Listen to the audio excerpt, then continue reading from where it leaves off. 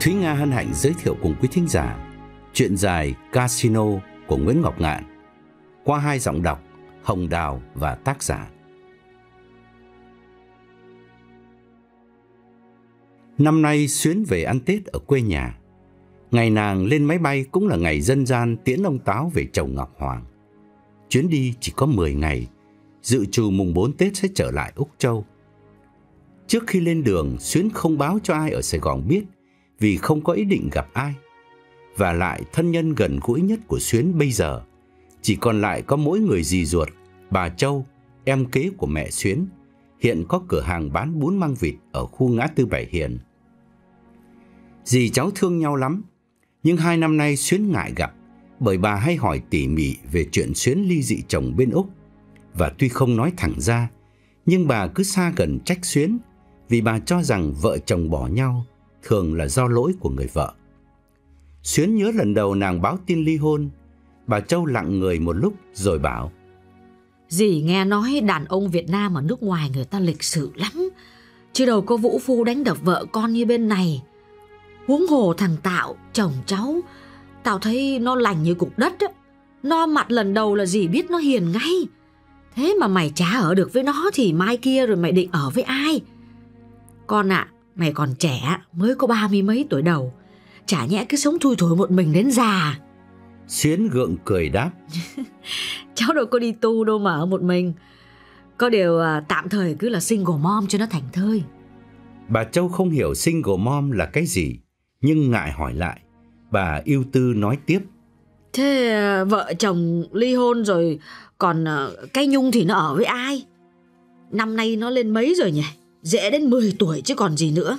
Xuyến đáp. Ờ thì con Nhung nó ở với cháu chứ ở với ai? Nó mới có 8 tuổi thôi, còn bé lắm. Bố nó nuôi làm sao được? Bà buột miệng than. Tội nghiệp mới nứt mắt ra mà không có bố rồi. Con không cha như nhà không nắp ấy, người ta nói chả sai đâu.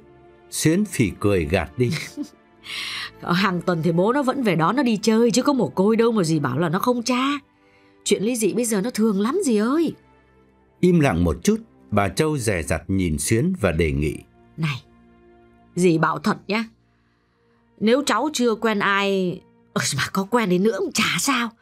Thời buổi bây giờ mà, nay quen mai bỏ là thường. Ừ, dì thấy chứ, hay là ừ, cứ cứ quay lại với thằng Tạo đi. Nói chuyện phải quấy với nhau rồi hai bên cùng làm lành. Thế là tiện hơn cả con ạ. À. Xuyến chỉ cười. Mỗi người một hoàn cảnh. Chuyện tình cảm chẳng ai nên khuyên ai. Lý do là vì nhìn từ bên ngoài không thể nào thấu hiểu hết ngọn ngành bên trong.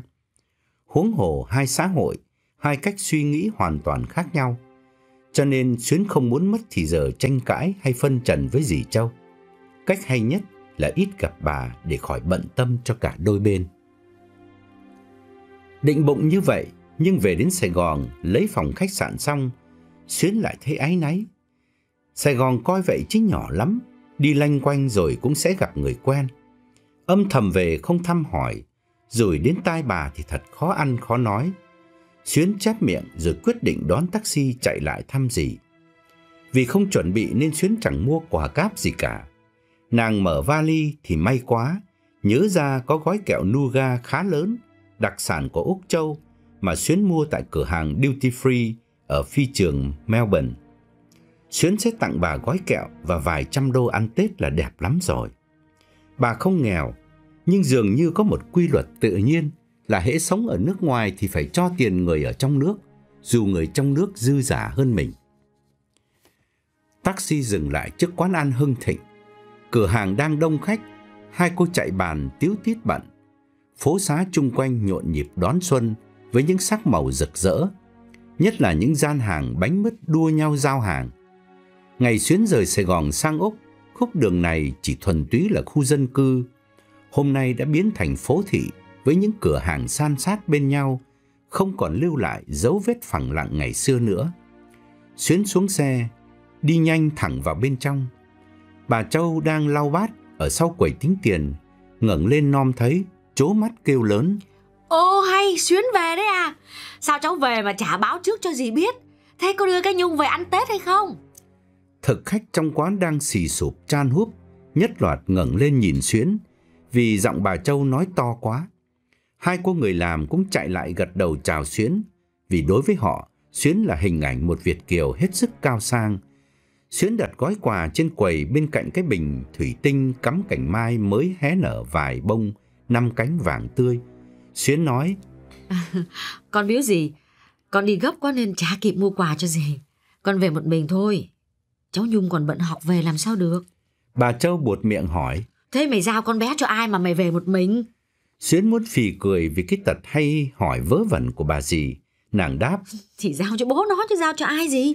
rồi Xuyến đưa mắt nhìn khắp lượt cái quán nhỏ và nói, Ờ, gì khỏe không? Dượng đi vắng hả gì? Chà, quán xá đắt hàng quá gì hả?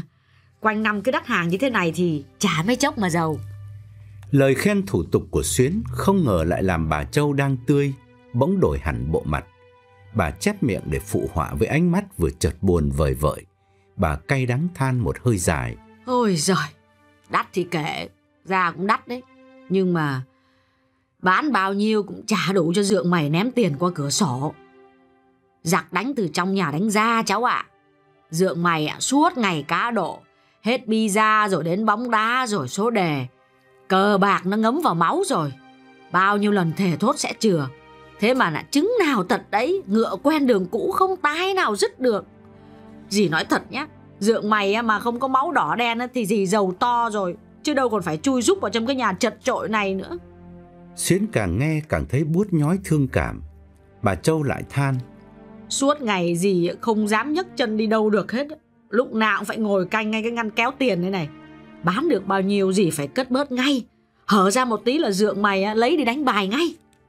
Xuyến chẳng biết nói sao để an ủi dì Châu, càng không thể lên tiếng phụ họa với bà để kết án ông chồng cờ bạc. Kinh nghiệm hơn 10 năm sống ở hải ngoại đã dạy cho Xuyến một bài học quan trọng là chuyện gia đình người ta mình chỉ nên nghe chứ đừng dại dột mà góp ý, vô tình thêm dầu vào lửa. Dù thân đến đâu cũng phải giữ một khoảng cách, tôn trọng sự riêng tư của thiên hạ. Bà Châu kéo cái ghế bảo Xuyến ngồi bên cạnh rồi bà lại thêm Cháu biết không, mấy năm trước đất ở Tân Việt nó còn rẻ như bèo á. Thế tao định mua mấy lô, vừa để xây nhà rồi vừa đầu tư. Nhưng mà hỏi ra mới biết là bao nhiêu tiền dành dụm từ ngày mở hiệu ăn tới bây giờ. Ông nướng hết từ lâu rồi. Bà Châu dừng lại, giọng nghẹn ngào như sắp khóc. Xuyến quay nhìn xuống bếp vì đoán là Dượng Châu đang ở dưới đó lo công việc. Tiệm ăn khởi đầu chỉ có hai ông bà. Ông nấu nướng phía sau, bà coi quẩy tính tiền, thuê thêm hai cô người làm. Nhưng không ngờ khách mỗi ngày một đông, nhờ món bún măng hấp dẫn và vịt luộc chấm nước mắm gừng. Bà Châu phải gọi con gái về ở chung để phụ với bố mẹ. Đứa con gái ấy là Hiên, đã có chồng và ở riêng được vài năm. Hiên cùng tuổi với Xuyến và là bạn học suốt thời trung học trước khi Xuyến sang Úc. Hiên về đây phụ mẹ phía trước, còn chồng thì suốt ngày nhổ lông và cắt tiết vịt phía sau. Khách hàng ra vào nườm nượp, nhìn bề ngoài ai cũng tưởng ông bà Châu phải giàu lắm. Hóa ra tiền bạc thu nhập giống như nước đổ vào chiếc bình có lỗ hổng. Vào bao nhiêu ra bấy nhiêu, chỉ vì ông Châu mang dòng máu cờ bạc. Điều này chắc đã xảy ra lâu lắm rồi, nhưng đây là lần đầu tiên bà Châu uất ức phun ra cho Xuyến nghe, có lẽ vì bà bức xúc quá, chịu hết nổi. Xuyến thấy đắng chát trong cổ họng, nàng chớp mắt nói lảng sang chuyện khác. Máu cờ bạc, ba tiếng chua cay bà Châu vừa thốt ra cũng chính là nỗi sầu sâu kín đang làm nát tan cõi lòng Xuyến. Cũng chỉ vì ba tiếng ấy, máu cờ bạc mà Xuyến và Tạo đành phải chia tay nhau, cho nên Xuyến rất cảm thông với Dượng Châu, bởi chính nàng cũng đang điêu đứng vì đồng cảnh ngộ, nghĩa là cùng mang kiếp đỏ đen y như ông. Ông khổ sở vì cá độ, còn Xuyến chết lên chết xuống vì casino, mà chủ yếu là blackjack. Bao nhiêu nữ trang bán hết, giờ này nợ ngập đầu ngập cổ không còn xoay sở vào đâu được nữa. Credit card xài hết mức, tháng tháng chỉ trả nợ tiền lời cũng mệt lắm rồi. Tạo chịu đựng suốt mấy năm trời, lúc thì nhỏ nhẹ khuyên nhủ, khi thì ồn ào chửi mắng, phương thức nào cũng chẳng có kết quả, đành phải ly dị để đường ai nấy đi. Căn nhà bán chia đôi đáng lẽ phải thanh toán bớt nợ nần, thì Xuyến cũng lại dốc hết vào sòng bài. Bao nhiêu đêm thao thức, thẫn thờ như người mất hồn, vì lúc nào lương chi cũng bị dằn vặt bởi niềm hối hận khôn nguôi. Tiếc của đã đành mà dai dứt hơn nữa là thiếu bổn phận với chồng, với con và nhất là nhìn quanh thấy thua kém tất cả bạn bè.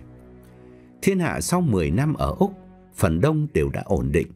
Riêng Xuyến đã có nhà có cửa mà giờ đây quay lại thuê căn buồng nhỏ y như người vượt biển mới qua định cư. Bà Châu hôm nay chút bầu tâm sự ẩn ức cho cháu nghe mà không hề biết chính cháu bà cũng mang dòng máu đỏ đen y như chồng bà. Bà lại càng không biết chuyến này Xuyến về bất ngờ cũng chỉ vì động cơ cờ bạc thúc đẩy, vì Xuyến đang rất cần tiền. Cách đây hai tháng, một hôm Xuyến đang thất thểu trong Crown Casino sau canh bạc cháy túi, thì gặp người đàn bà đồng hương tuổi khoảng trên 40, niềm nở lại làm quen. Gọi là cháy túi nhưng thật ra Xuyến chỉ có 2.000 bạc, năn nỉ mãi mới mượn được của bà hàng xóm. Crown Casino là sòng bài tráng lệ nhất ở Melbourne, hay đúng hơn là lớn nhất của nước Úc. Bên Mỹ, casino thường được xây dựng ở những khu biệt lập, chẳng hạn Las Vegas, Atlantic City hoặc Biloxi. Dân chúng muốn đến chơi phải đi máy bay hoặc lái xe vài tiếng đồng hồ, làm người ta đôi khi ngần ngại. Cũng có những tiểu bang bắt buộc casino phải ở ngoài khơi, trên những chiếc tàu nổi, mục đích ngăn cản dân chơi được chút nào hay chút đó. Hoặc gần đây những casino do thổ dân da đỏ khai thác thì luôn luôn nằm sâu trong rừng, trên phần đất của bộ tộc. Dân thị thành khắp nơi muốn đến phải lái xe ít lắm cũng vài tiếng. Tất cả đều nhằm mục đích làm giảm bớt sức hút của sòng bài, không muốn tạo điều kiện thuận tiện lôi kéo quần chúng. Nước Úc thì khác hẳn. Sòng bài mọc lên ngay giữa thành phố, ngay khu thị tứ, khách bộ hành đi ngang có thể tạt vào bất cứ lúc nào. Ở Sydney, Melbourne hay Brisbane đều thế cả. Đó là chưa kể những câu lạc bộ thể thao ở nhiều góc phố hoặc trong hành lang khách sạn hay tiệm ăn, thực chất cũng là những sòng bài nhỏ với hàng trăm máy kéo nuốt tiền như uống nước. Casino Crown sang trọng sừng sững bên bờ sông, cảnh trí thơ mộng, ngày ngày thu hút biết bao nhiêu là khách, có nghĩa là biết bao nhiêu người đã ngã gục vì nó. Đem hai ngàn vào Crown thì chẳng khác gì muối bỏ biển. Xuyết sự chủ chỉ đánh cầm chừng, ăn được vài trăm rồi về, trả vốn lại cho bà hàng xóm. Nhưng chuyện cũ lại tái diễn, có lúc Xuyến đã được đến hơn bốn ngàn mà không chịu nghỉ. Khi hên thấy chuyện gì cũng dễ dàng, tưởng sẽ hên mãi, nên nàng ngồi nán lại và chỉ hai tiếng đồng hồ sau đã cạn sạch. Mắt hoa lên, cổ họng đắng chát, Xuyến thất thểu đứng dậy, lảo đảo bước ra. Dãy hành lang bên hông casino có những cửa hàng ăn uống san sát bên nhau, nhìn ra bờ sông. Xuyến mở bóp kiểm lại thì thấy còn được vài chục. Nàng uể oải kéo ghế ngồi, dự định ăn tô mì rồi xuống parking lấy xe về. Trong casino, người ta quên hết thời gian bởi muôn ngàn ánh đèn lúc nào cũng rực sáng như nhau. Nhưng ra ngồi ở hành lang trông ra bờ sông, Xuyến mới biết rằng trời đang sập tối. Đứa con gái chắc đang chờ mẹ về để nấu cho nó ăn rồi còn làm hôm uốc và học thêm tiếng Việt. Xuyến thở dài chớp mắt, lòng nao nao như sắp khóc. Nhưng vừa kéo ghế ngồi thì có người đàn bà tiến lại bên cạnh và thân mật hỏi bằng giọng miền Nam. Nè, bữa nay có lất kỳ không? Dân cờ bạc thường rất dễ thông cảm nhau cho nên dù chưa quen, Xuyến cũng nở nụ cười cay đắng đáp. Lucky thì đâu có ngồi đây. Nhưng mà lỗi tại tôi. Đang hên thì nó đổi điêu lơ. Đáng lẽ khi mà mình đang hên mà nó đổi điêu lơ đó thì mình phải nghỉ. Ngu quá. Người đàn bà kéo ghế ngồi đối diện Xuyến và tiếp ngay cái ý của Xuyến. Trời đất ơi, tôi bị cái vụ đó hoài à. Bữa trước nè, tôi với bà bạn ngồi chơi nguyên đêm luôn á. Tới 5 giờ sáng nha, hai đứa ăn đâu gần 60 ngàn á. Cái à, bà hối tôi nghỉ đi. Tôi nói trời đất ơi, giờ này mà về nhà đánh thức cả nhà dậy hay làm sao? Thôi ngồi chơi, ngồi chơi chút xíu nữa đi. Đang hên mà. 6 giờ về là thay đồ đi làm luôn. Cái cô biết không, chưa tới một tiếng đồng hồ sau nha hai đứa tụi tôi bay hết 60 ngàn luôn á. Lầm thêm vô vốn hai mươi mấy ngàn nữa đó. Tức muốn chết luôn vậy đó. Tính nhảy xuống sông tự giận cho rồi. Câu chuyện của bà khách Chẳng biết có thật hay không Nhưng cũng là một liều thuốc an ủi cho Xuyến phần nào Bởi bên cạnh Xuyến Vẫn còn có những người xui hơn nàng. Xuyến toàn góp ý kể lể kinh nghiệm của mình Thì bà khách nhìn vô quầy thực phẩm Rồi ân cần hỏi Xuyến. Ăn gì không? Tôi lấy luôn cho. Tôi mời mà. Mì ngang Mì dịch ở đây ăn được lắm á Rồi không chờ Xuyến trả lời, bà đứng dậy lại quầy order hai tô mì vịt quay và hai chai nước lọc. Xuyến đang quá kẹt tiền nên ai bao nàng cũng hân hoan nhận lời không thắc mắc. Xuyến hỏi cho có chuyện. Um, chị chị có hay chơi ở đây thường xuyên không? Tôi tới đây hoài mà ít gặp chị quá. À, chị đánh uh, baccarat hay là blackjack? Người đàn bà vừa lau đũa vừa đáp. Trời đất ơi, tôi ghé đây thường lắm bà ơi. Nhưng mà tôi chơi baccarat trên phòng VIP á. Lâu lâu rồi tôi cùng bay qua bên ờ, Star City đó, bên Sydney đó. Bên đó không có lịch sự bằng bên này, nhưng mà hợp với tôi hơn. Lần nào qua tôi cũng thắng hết á. Xuyến tò mò hỏi thêm. À, nhưng mà chị chị có ở gần đây không? Người đàn bà dài dòng kể. Hồi mới qua ở ờ, Stringvale á, cũng tới 5 năm á. Rồi tôi mua shop bán trái cây ở trên Footscray á. Mới sang lại cho người ta. Rồi giờ tôi về khu Victoria nè. Mở tiệm ăn mà chưa kiếm được ờ, địa điểm tốt. Người đàn bà quay lại đề tài casino cười bảo. Không biết cô có tin phong thủy không chứ tôi hả? Trời ơi tôi thấy đúng một trăm phần trăm luôn á. Bởi tôi tôi thử nhiều lần lắm rồi. Hễ tôi mà ngồi dai mặt về hướng chánh nam là tôi thắng à. Mà tôi đổi bất cứ cái hướng nào đó là đều ôm đầu máu hết á. Xuyến đã chán ngấy những bài học về phong thủy nên hứng hở đáp tôi thì tôi ngồi hướng nào tôi cũng chết Người đàn bà nhìn xuyến tội nghiệp rồi kiên nhẫn giảng. Tại vì cô không tin. Chứ chỗ phong thủy nó quan trọng lắm á. Nè cô thấy cái casino crown này không? Toàn là đá cẩm thạch màu đen không à.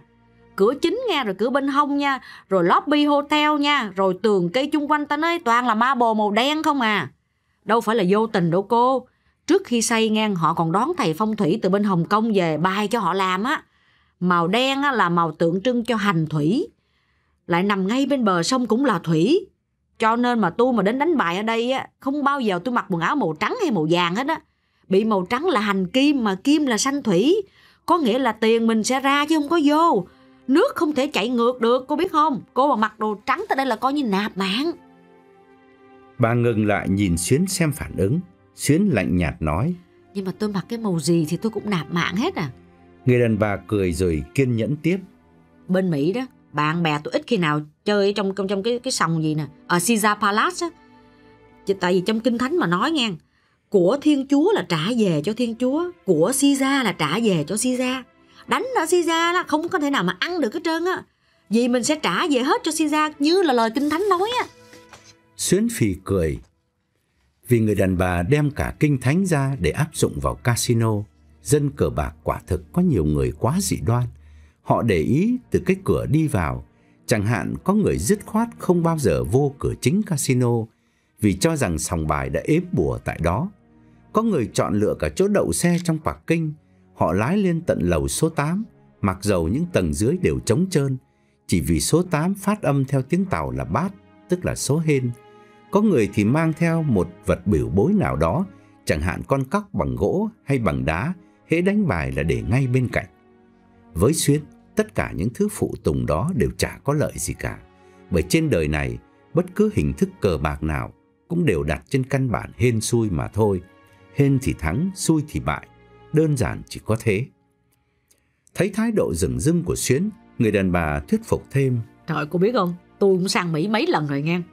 Bển á, sòng bài á, toàn trên tàu thủy không à. Mà những người mà màng quả đó mà lên tàu mà đánh là chỉ ôm đầu máu thôi à. Vì thủy nó khắc quả, nước nó dập tắt lửa liền à. Bởi vậy cho nên biết không, biết phong thủy dù sao nó cũng có lợi lắm. Xuyến chờ người đàn bà nói hết ý rồi mới kể. Ờ, chị chị có biết thầy Toàn Vinh không? Thầy Toàn Vinh là thầy phong thủy nổi tiếng nhất ở đây, nổi tiếng nhất nước Úc mình à. Người nào mở tiệm cũng mua vé máy bay đón thầy về để thầy chỉ hướng phong thủy cho họ làm ăn. Năm nào thầy cũng viết bài phong thủy trên báo Xuân á. Năm nay cũng có, Chị chỉ về chị mở cái tờ báo Chiêu Dương số xuân mới ra đầu tuần đó, chị sẽ thấy ngay. Người đàn bà tò mò cắt ngang. Rồi sao? Bộ cô cũng quen ổng nữa hả? Cho cho cho tôi số phone đi. Xuyến thản nhiên tiếp. Không, quen thì không quen nhưng mà tôi biết. Vì uh, hay gặp ông ấy ở sòng bài. Ông ấy cũng là thầy phong thủy nổi tiếng. Nhưng mà tôi chả biết ông ấy xoay hướng ra sao. Mà lần nào vô casino cũng cháy túi, về tay không. Người đàn bà ngạc nhiên kêu lên. Ủa? Thiệt vậy hả? Rồi chắc là ổng coi cho người ta được mà không coi cho ổng được. Bục chùa nhà đâu có thiên đâu cô. Xuyến lắc đầu bảo. Chả biết có phải vậy hay không. Nhưng mà tôi nghe người ta kể. casino MGM ở Las Vegas á, đón ông thầy phong thủy từ Đài Loan qua. Ông thầy chỉ cho họ đặt cái tượng con sư tử thật lớn trước cửa casino, coi như là ông thần hộ mạng cho casino. Dân chơi mà vô đó chỉ có nạp mạng thôi. Hôm sau có một đại gia người Đài Loan bay qua chơi, thắng hơn cả triệu đô á. Còn ông thầy phong thủy xây tượng con sư tử được trả công 50 ngàn thì vô chơi lại thua sạch. Người đàn bà nhìn Xuyến cười thoải mái. Thật ra thì bà đâu có chủ ý thuyết phục Xuyến tin phong thủy. Tất cả chỉ là câu chuyện làm quà để kết thân với Xuyến mà thôi. Ở Úc đã 10 năm, Xuyến chưa qua Mỹ lần nào. Ngày trước, khi Việt Nam chưa mở cửa, người Việt ở Úc thường sang Mỹ chơi, thăm cộng đồng lớn mạnh ở đây. Bây giờ thì ít ai qua Mỹ bởi du lịch Việt Nam là một cửa ngõ lôi cuốn, vừa gần gũi, vừa vui hơn rất nhiều. Riêng Xuyến thì vẫn mong có dịp qua Mỹ đến Las Vegas, bởi người ta bảo chưa tới Las Vegas thì chưa thấy hết sự giàu sang và xa hoa của nước Mỹ. Người đàn bà đứng dậy tiến lại quầy lấy thức ăn, cái túi Chanel loại lớn thời trang năm nay đặt trên bàn trước mặt Xuyến, làm Xuyến nao nao buồn vì bao nhiêu ví bóp đắt tiền của nàng đã đem bán lại hết, rồi cúng cả vào sòng bài. Bất giác Xuyến thở dài, nhìn theo cái dáng đẫy đà của người đàn bà mới quen. Bà đem khay thức ăn lại, cẩn thận bưng tô mì đặt trước mặt Xuyến, dục nàng ăn rồi tỉ mỉ cắt nghĩa. À, người ta cứ nói chứ đi casino đâu có bao giờ ăn được tiền của casino. Trời ơi, ăn được chứ cô. Có điều ăn rồi mình không chịu nghỉ. Cô coi đó, nó bạc tỷ, mình bạc ngàn. Ngồi lâu thì mình phải chịu thua thôi chứ bị bạc ngàn sao chọi bạc tỷ được, đúng không? Đây nè, ngày đầu tiên mà cái crowd này mở ra nè, đã có mặt tôi rồi. À, tôi lấy cái membership VIP từ bữa khai trương á. Tôi thấy như vậy nha, kinh nghiệm của tôi nha. Trong một ngày á, mình chỉ hơn chừng tiếng đồng hồ thôi à, hoặc hai tiếng là hết mức. Nếu mà mình đánh đúng cái lúc mình hơn á, là mình thắng. Bởi vậy cho nên casino nó sợ nhất là những người mà đặt dài cây rồi nghỉ. Đó nó gọi là hit and run á. Mình mà càng ngồi lâu, casino nó càng mừng. Bị mình ngồi lâu thì sớm muộn gì mình cũng hết tiền. Xuyến thấy người đàn bà nói đúng những điều nàng đã suy nghĩ từ lâu, nên nàng vui vẻ đáp. Ai cũng biết thế, nhưng chả nhẽ vào casino đặt mấy cây rồi đi về. Biết là ngồi lâu thế nào cũng thua, nhưng mà chị có can đảm đứng dậy bỏ về không? Trong khoảnh khắc, hai người trở thành bạn tri kỷ như đã quen nhau từ tiền kiếp, chỉ vì cùng chia sẻ chung một đề tài cực kỳ hấp dẫn là cờ bạc. Bao nhiêu kinh nghiệm, bao nỗi đắng cay hoặc bao phút vinh quang ở mỗi người đều phun ra cho nhau nghe. Ngồi bên nhau gần một tiếng đồng hồ, Xuyến được biết người đàn bà tên là Mỹ Lệ. Nhưng bà yêu cầu Xuyến gọi bằng chị Năm theo tiếng quen thuộc của bạn bè. Chị Năm hơn Xuyến đến 15 tuổi, nhưng non còn khá trẻ. Và cứ như lời chị kể thì chị đánh lớn lắm, bạo tay sát phạt, chứ không phải hạng cò con như Xuyến. Nhất là lúc này khi Xuyến đã cạn đáng. Nghe Xuyến kể, chị biết Xuyến đang lâm vào bước đường cùng nên tìm lời an ủi.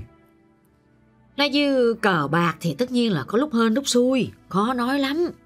Có bữa tôi ha mang có ba ngàn bạc à, mà ăn cả trăm ngàn á. Còn có bữa mang nhiều thì lại hết trơn. Nhiều người chỉ cần có mấy ngàn mà gây dựng nên sự nghiệp cũng không chừng. Xuyến buồn giàu nói. Ừ, chắc em phải nghỉ một thời gian, cả năm nay em xui quá. Dĩ nhiên Xuyến nghỉ chẳng phải vì xui, mà vì không thể xoay sở vào đâu được nữa. Nghe giọng thất vọng của Xuyến, chị Năm nhìn Xuyến bằng ánh mắt thương cảm và gợi ý. Ừ, lúc này cô cô có mắc đi làm gì không? Không ấy về Việt Nam chuyến đổi gió đi, rồi trở qua chơi tiếp. Gần Tết người ta về Việt Nam quá trời luôn á. Ờ, cô cô có muốn về ăn Tết ở Sài Gòn không? Xuyến nhìn lại chị Năm ngơ ngác chưa hiểu ý chị muốn gì thì chị ngó quanh những dãy bàn ghế lưa thưa người rồi nói nhỏ. Ra ngoài kia kìa, mình nói chuyện, ở trong này ồn ào quá. Hai người cùng đứng dậy, chị Năm đeo bóp đi trước, Xuyến lủi thủi theo sau ra sát ngoài mé sông, chọn một chỗ vắng dưới lùm cây, có cái ghế bằng đá màu vàng nhạt.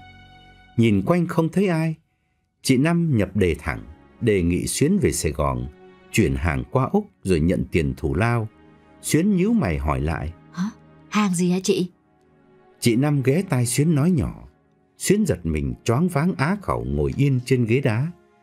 Công việc nhẹ nhàng thật, nhưng quá nguy hiểm, bởi món hàng mà chị nhờ Xuyến là một kg bạch phiến đem từ Sài Gòn sang Úc.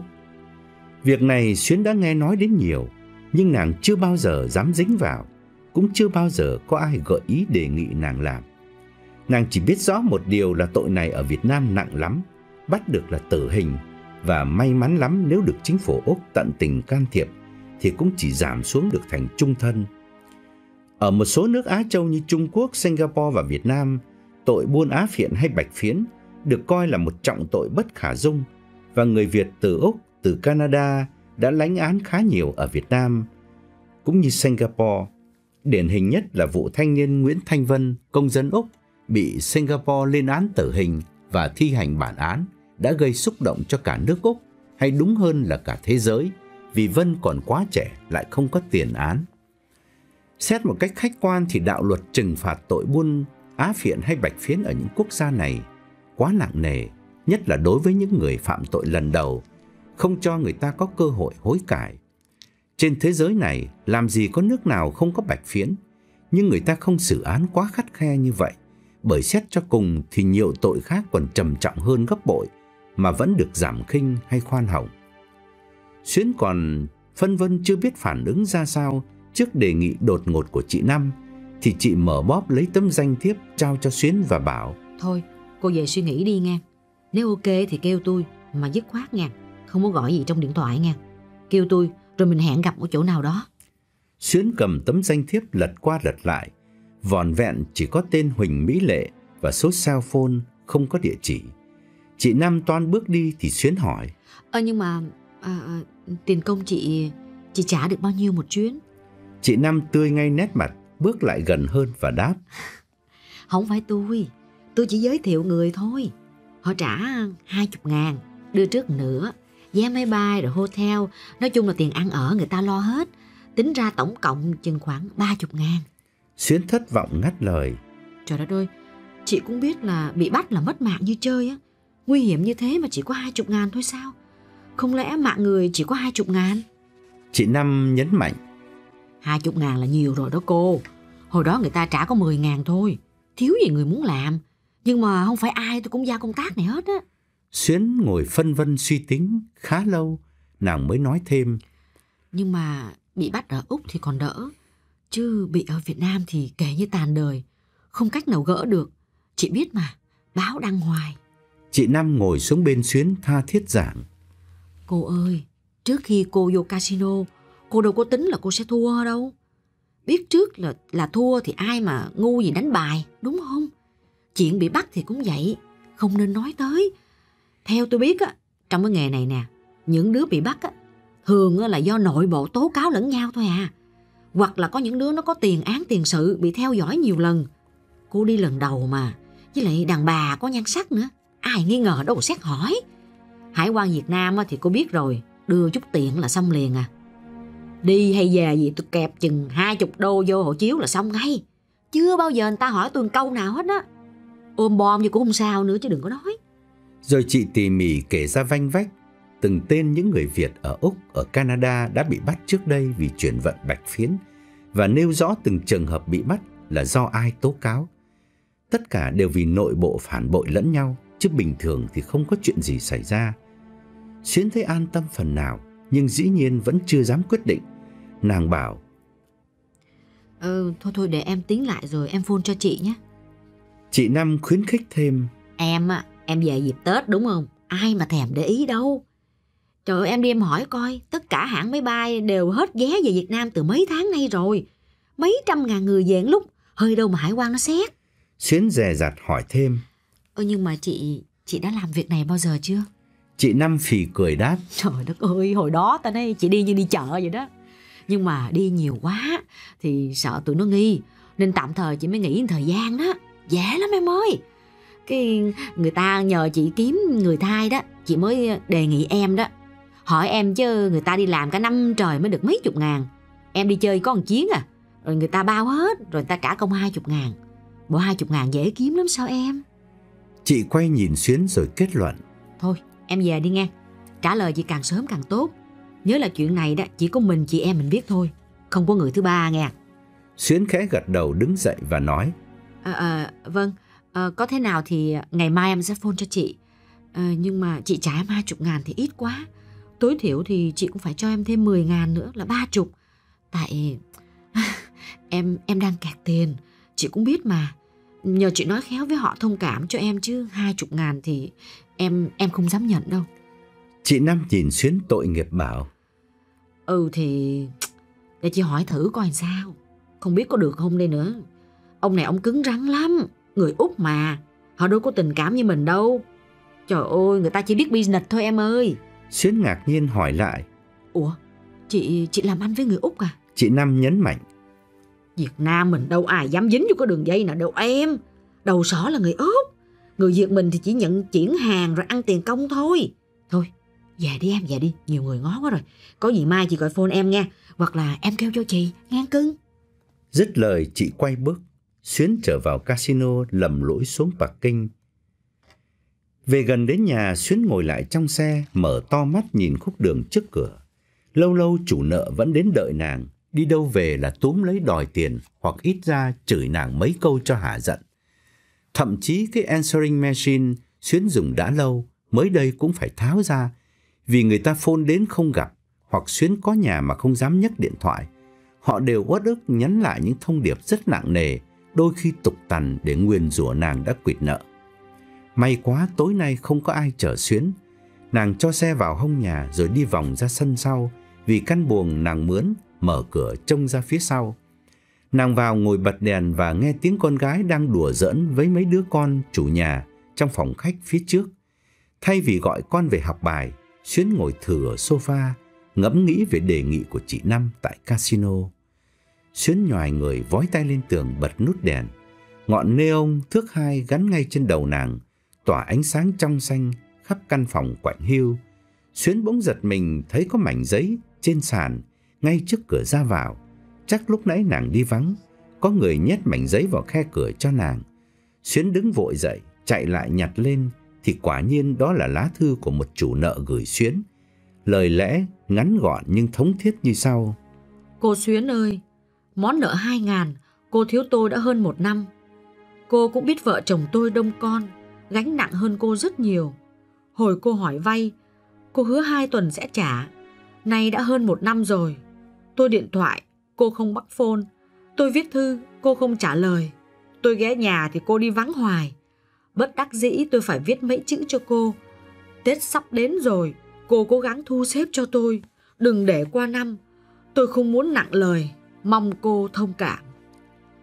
Đọc xong bức thư nét khá lớn, Xuyến thử người ngả đầu ra thành ghế, mắt mở trừng trừng nhìn lên trần. Bà Nguyệt tác giả lá thư là người mà Xuyến đã tránh mặt cả năm nay vì trốn nợ. Dĩ nhiên bà chẳng phải là người duy nhất ôm hận vì lỡ dại cho Xuyến mượn tiền, còn cả chục người khác trong thành phố vẫn đang uất đức vì Xuyến. Và những lá thư tương tự như thế này Xuyến nhận được thường xuyên, đôi khi lời lẽ nghiêm khắc hơn nhiều. Đến ngay cả Tạo chia tay Xuyến đã hai năm mà lâu lâu vẫn có người túm lấy Tạo để đòi nợ. Tạo cho biết đã ly dị Xuyến từ lâu thì họ vẫn cứ quả quyết hai vợ chồng giàn cảnh để trốn nợ, làm Tạo hết sức khổ sở, rồi lại phun cho Xuyến để chửi. Ngồi đờ đẫn một lúc, Xuyến vò bức thư quăng mạnh vào thùng rác đặt ở góc nhà, rồi lại lay hoay nghĩ đến đề nghị của chị Năm tại sòng bài, vì chỉ còn con đường này mới là lối thoát cấp bách cho Xuyến. Cứ như lời chị nói thì mọi chuyện đều rất dễ dàng, chẳng có gì đáng ngại. Hai chục ngàn không phải là món tiền lớn, nhưng với Xuyến lúc này, con số ấy cũng có thể giúp nàng giải quyết được khá nhiều vấn đề cấp bách, rồi từ từ sẽ tính sau. Giờ này Xuyến mới sực nghĩ ra chị Năm chẳng phải vô tình mà gặp Xuyến ở gian hàng, ăn trong casino, lại càng không vô tình khi mới gặp lần đầu mà chị đã dám mở miệng đề nghị Xuyến chuyển vận bạch phiến. Chắc chắn chị đã phải theo dõi từ lâu và biết Xuyến đang lâm vào ngõ cụt cần một lối thoát tài tránh. Xuyến thở dài đứng dậy đi quanh căn buồng quạnh quẽ, đồ đạc chẳng còn gì đáng giá. Cách tivi kê ở góc phòng với hai cái giường nhỏ cho hai mẹ con. Giang sơn của nàng sau 10 năm ở Úc, có ngờ đâu là eo uột như thế này. Một bà bạn thân của mẹ Xuyến sang đây gặp lại Xuyến, từng đến nhà Xuyến ăn cơm. Bây giờ bỗng thấy Xuyến xuống cấp quá đáng, chui vào một căn buồng nhỏ. Bà não nề kêu lên. Ôi giời ơi, sao mà nông nỗi thế này hả cháu? Bác tưởng là khi ly dị thì thằng Tạo phải chia cho mày nửa tiền chứ. Bán căn nhà cả mấy trăm nghìn đô cơ mà con. Xuyến ngượng ngùng muốn rơi nước mắt. bao nhiêu lần quyết tâm từ bỏ cờ bạc để làm lại cuộc đời. Nhưng làm lại từ con số không thì ngày nào mới ngóc đầu lên được. Cho nên hễ xoay được đồng nào, Xuyến lại chui vào sòng bài, hy vọng đi đường tắt cho nhanh. Và kết quả là nàng lại càng lún sâu trong vũng bùn nợ nần. Xuyến thở dài đứng dậy, bước vô nhà bếp. Gọi là nhà bếp nhưng thật sự toàn bộ giang sơn của mẹ con Xuyến chỉ là một căn phòng. Phía ngoài kê hai cái giường ngủ nhỏ, một bộ salon, phía trong là cái lò nấu và cái tủ lạnh sát bên bồn rửa chén. Rồi đến buồng tắm chung với toilet, để cho đỡ trống trải, Xuyến lấy sợi dây căng ngang rồi treo tấm màn vải để ngăn đôi phòng khách với nhà bếp, giống như những căn nhà chật chội ở Việt Nam. Mỗi lần Tạo đến đón con, nhìn cuộc sống quá đơn giản của Xuyến, Tạo thường nổi nóng vì thương con, thấy con thua kém tất cả mọi đứa bé cùng trang lứa chỉ vì Xuyến cúng hết tiền vào sòng bài. Đã thế khi thua bạc, Xuyến chán nản buông xuôi, chẳng còn muốn dọn dẹp nhà cửa. Bồn rửa chén để ngập lên các thứ nồi niêu son chảo dính đầy cơm thừa canh cặn. Tạo mua thức ăn mang lại cho con, tìm một cái muỗng sạch cũng không có. Ngày mới lấy Tạo, Xuyến vẫn được tiếng là gọn ghẽ. Thế mà bây giờ ở riêng, nàng trở thành bệ giạc tới độ ai ghé thăm cũng phải giật mình. Ngay cả áo quần của Xuyến cũng thế. Ngồi cả ngày trong casino, nhiều khi người chua loét mà nàng cũng chẳng quan tâm. Những đêm về khuya thấy con ngủ rồi, Xuyến để nguyên quần áo, mệt mỏi lên giường nằm luôn, thậm chí không thèm tắm. Tự lấy cớ là không muốn gây ồn ào giữa nửa khuya, sợ chủ nhà căn nhằn. Xuyến đứng rửa chén một lúc thì con gái về. Nàng hỏi cho có lệ. Ờ, con làm homework chưa? Làm rồi thì đi ngủ đi nha. Con bé ngoan ngoãn vô phòng tắm đánh răng rửa mặt một mình rồi lên giường. Bên cạnh, tức là chỉ cách một bức vách, bà chủ nhà cũng dục lũ con cất hết đồ chơi, đồng thời tắt tivi, đứa nào vào phòng đứa nấy. Không gian trở lại yên lặng, không còn tiếng cười đùa của trẻ em và tiếng ồn ào của truyền hình như lúc Xuyến mới về. Nàng tắt vòi nước lau tay rồi quay ra phòng ngoài, lại ngồi xuống chỗ cũ suy nghĩ về đề nghị của chị Năm. Ở phòng bên cạnh, bà chủ nhà vừa mở CD nghe nhạc theo thói quen mỗi buổi tối để du giấc ngủ. Vô tình tiếng hát trường vũ thống thiết cất lên bản kiếp đỏ đen, làm xuyến càng thấy đau nhói trong lòng. Ta băng bao tội lỗi, người ơi ta không còn chi, xin hãy lánh xa kiếp đỏ đen.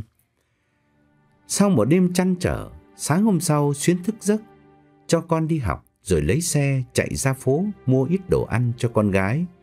Con bé Nhung ăn được tất cả các món ăn Việt Nam, nhưng lâu lâu nó vẫn nhớ thức ăn Tây vì thường xuyên vắng nhà. Xuyến hay mua sẵn đồ hộp bỏ trong tủ lạnh hay freezer, chỉ cho con cách hâm trong microwave hoặc trong lò nướng để khi nàng về muộn thì con bé tự động dọn ra mà ăn. Cũng may là chủ nhà có đến hai đứa con sắp xỉ tuổi, thường chơi đùa với nhau nên Xuyến cũng an tâm phần nào khi ngồi lì trong sòng bài. Nhiều đêm khi nàng mệt mỏi về đến nhà thì con Nhung đã ngủ say trong phòng khách của chủ nhà rồi. Ở chợ về, Xuyến lại ngồi tại sofa phân vân suy tính một lúc rồi quyết định phun cho chị Năm. Chị cười hớn hở bảo Xuyến. Trời ơi, chị cũng đang nhớ tới em đây nè. Đi ăn sáng nghe, vô casino là tiện nhất nghe. 10 giờ nghe, chị hẹn em ở chỗ hồi hôm á. 10 giờ thì tiệm ăn ta mới mở. Xuyến chỉ còn mấy chục bạc trong túi, vô sòng bài nhìn thiên hạ vui chơi tủi thân lắm. Nhưng hẹn ở đó là tốt hơn cả, bởi vì nói chuyện gì cũng chả ai thèm chú ý. Nhìn đồng hồ, thấy mới 9 giờ, Xuyến đi tắm thay quần áo, rồi từ từ phóng xe đi. Xuyến đến điểm hẹn lúc những quầy bán thức ăn còn đang sắp xếp bày ra khay và toàn khu food court. Chỉ mới thưa thớt vài người khách, đa số là những khuôn mặt mệt mỏi thiểu não sau một đêm chiến đấu cam go mà kết quả phần lớn là thảm bại. Những ánh mắt đăm chiêu bên tách cà phê, lờ đờ chẳng thèm chú ý đến cảnh vật chung quanh. Chị Nam bữa nay mặc đồ lịch sự hơn, quần tây áo sơ mi, vai đeo bóp Prada màu đen, tay bưng ly cà phê mua dọc đường. Vừa thấy Xuyến, chị niềm nở hỏi ngay. Sớm quá, đâu có gì ăn đâu. Hay là em muốn ờ, ra khu Victoria ăn phở không? Xuyến kéo ghế ngồi và đáp. Khỏi chị, ở đây nói chuyện tiện hơn. Ăn uống đâu có gì là quan trọng đâu. Chị Nam nhìn thẳng vào mắt Xuyến và hỏi. Em gặp chị bữa nay là kể như xong rồi, phải không? Xuyến lắc đầu. Ừm, nhưng mà em cần hỏi chị thêm vài chi tiết nữa. Về Sài Gòn thì em gặp ai Rồi ai giao hàng cho em? Chị Năm đưa tay ngắt lời ngay. Mấy cái thứ đó em khỏi lo. Chỉ cần em ok thôi Rồi chị sẽ nói hết cho em nghe. Em dứt khoát nha. Để chị còn lấy vé máy bay á. Chứ giờ này sợ hết vé lắm á. Xuyến đắn đo một chút rồi lại hỏi. Hôm qua em nói với chị là ba chục. Chị đã nói chuyện với người ta chưa? Chị Năm gạt đi. Em bằng lòng nhận công tác thì chị mới nói chứ. Chị nói với người ta rồi em đổi ý không làm Thì mặt mũi đâu chị gặp người ta Xuyến gật đầu nhấn mạnh. Nếu nếu em bằng lòng thì chừng nào chị ứng tiền cho em? Bữa nay chị đưa trước cho em 5 ngàn được không? Nghe câu hỏi Chị Năm biết Xuyến đã hoàn toàn siêu lòng Vì đang rất cần tiền. Chị Mười. đáp. 10 ngàn cũng được chứ đừng nói gì 5 ngàn. Để chị gọi liền cho anh trả nha Nhưng mà em phải nhớ điều này nha Khi đã quyết định rồi á, là không có được thay đổi à nha Xuyến ngồi yên Ánh mắt yêu tư Chị Năm lại lên tiếng Giờ chị hỏi em thêm lần nữa nè. Em đã quyết định chưa? Em ừ một tiếng. Chị nói người ta đưa tiền cho em liền à. Xuyến gật đầu. Chị Năm hài lòng bảo. Thấy không? Dễ ợt chứ có gì đâu mà lo. Giờ em ngồi đây nha Chị đưa đỡ cho em ngàn.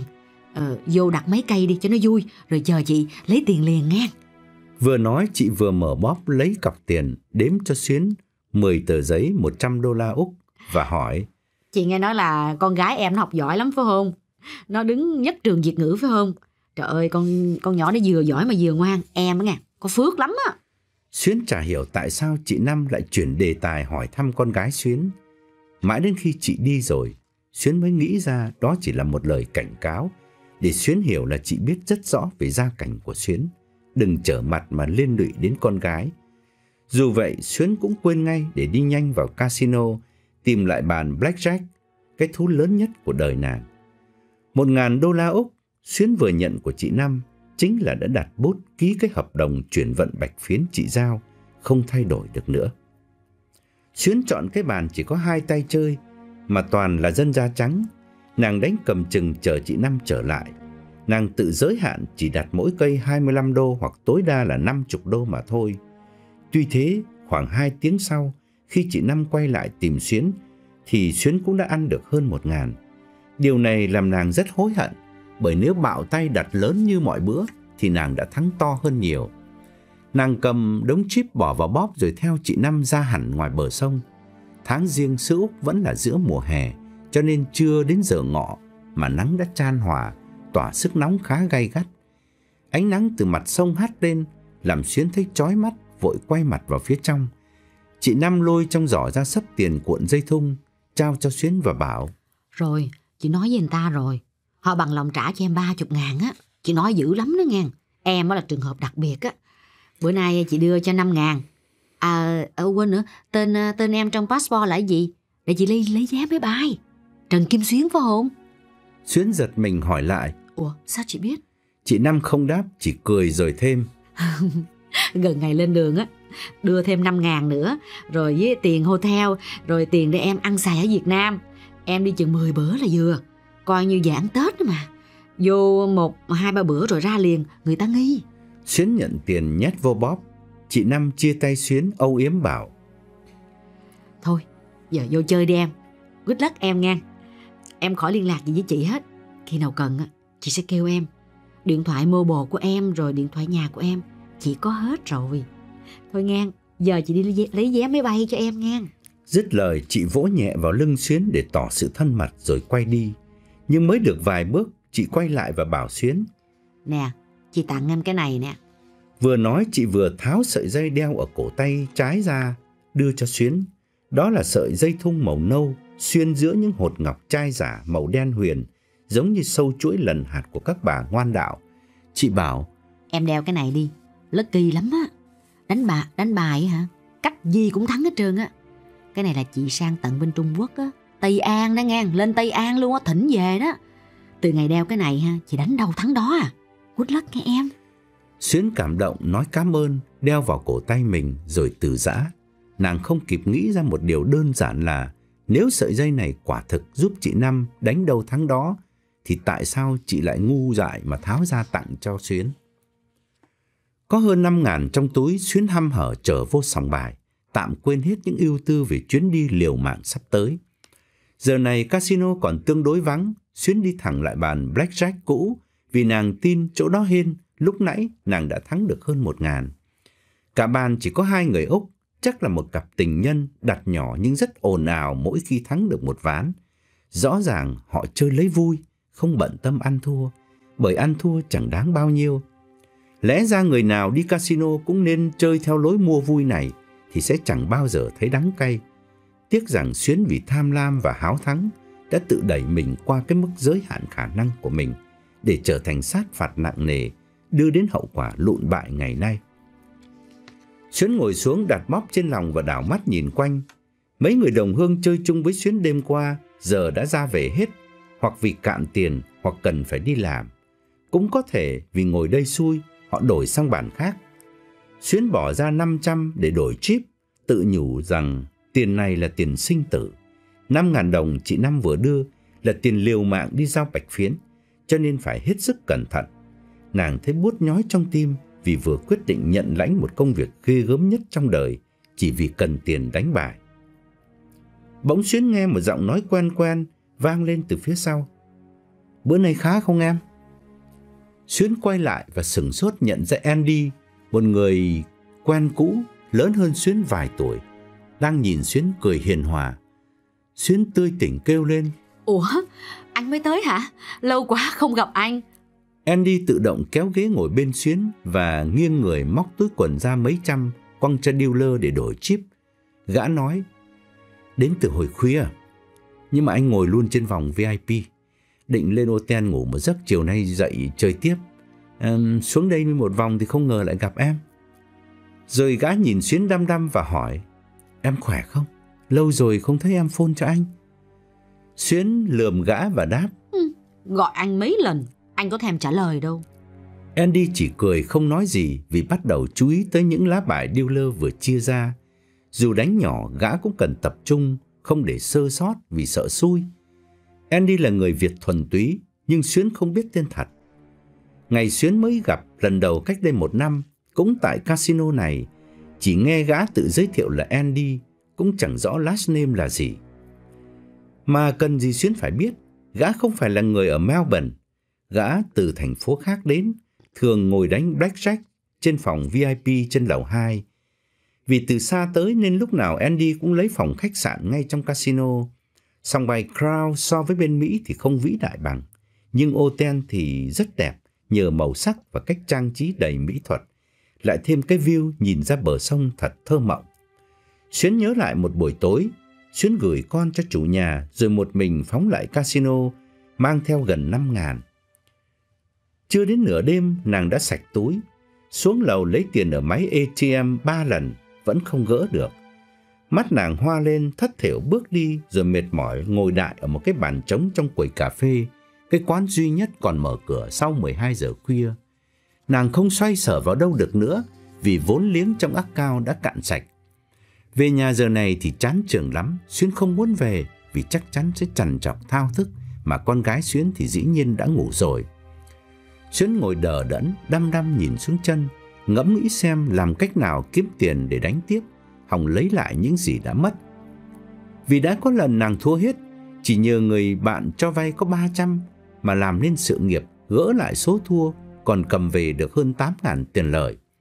Dĩ nhiên những trường hợp may mắn như thế rất hiếm xảy ra nhưng cờ bạc thật khó mà đoán trước.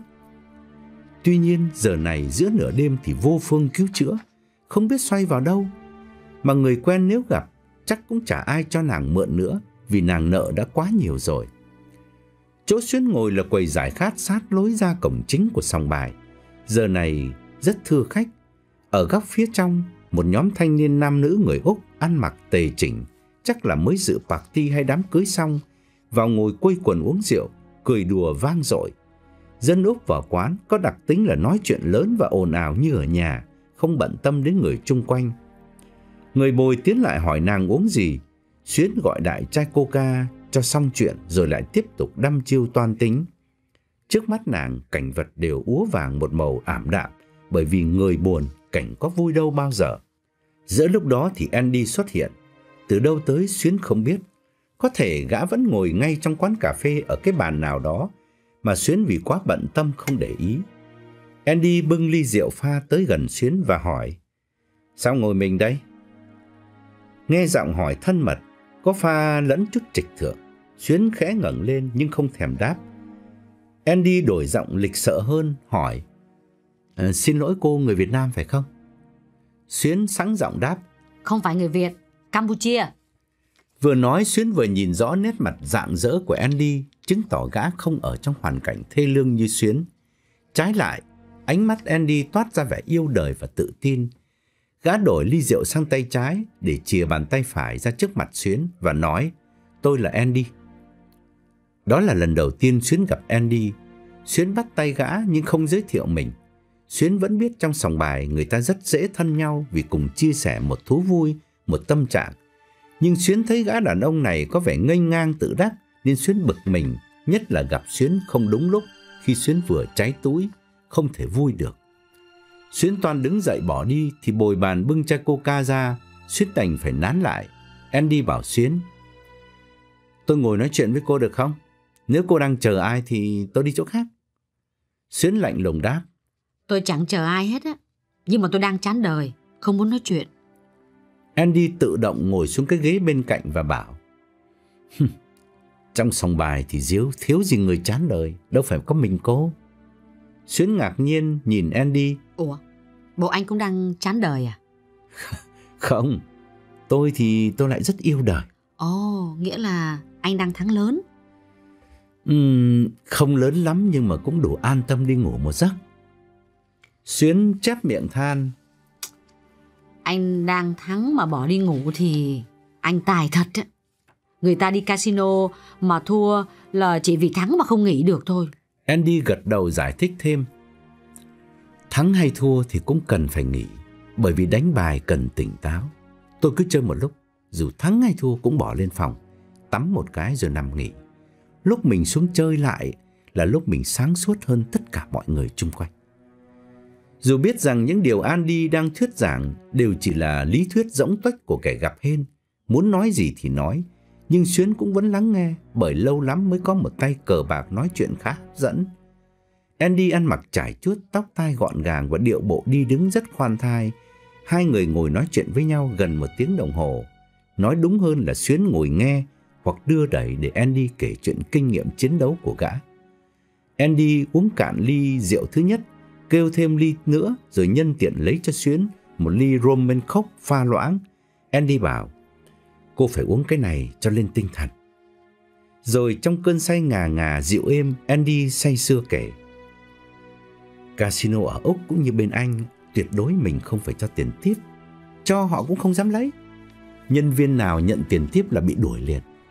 Bên Mỹ cho hay không là tùy mình.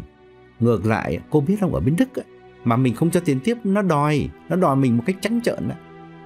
Thí dụ mình đánh roulette trúng một số được 360.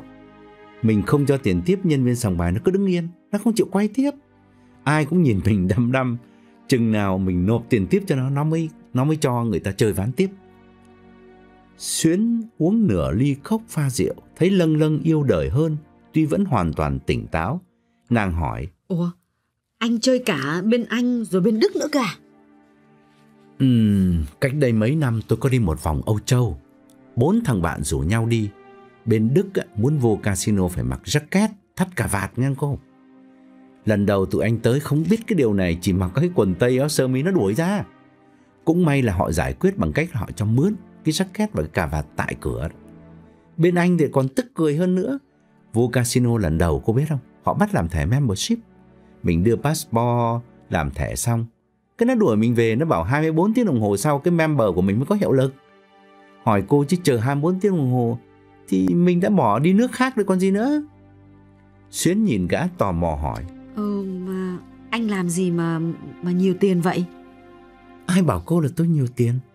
Thật ra thì tôi tôi có farm trồng đủ các loại cây nhiệt đới, lấy giống từ Việt Nam hay là Thái Lan qua cũng có năm mất mùa chứ cô Không phải là năm nào cũng trúng Anh ở farm mà Anh trông giống người dân thành phố quá Ở xứ này thành thị với nông thôn có khác gì nhau đâu Cũng đèn điện, cũng xe hơi, cũng tủ lạnh Ý cô muốn nói là tôi Đúng ra thì tôi phải là một thằng nhà quê sao Dân thành phố cũng thiếu gì người nhà quê Còn hơn cả người sống ở farm đấy chứ Rồi Andy đột ngột đổi đề tài hỏi Xuyến.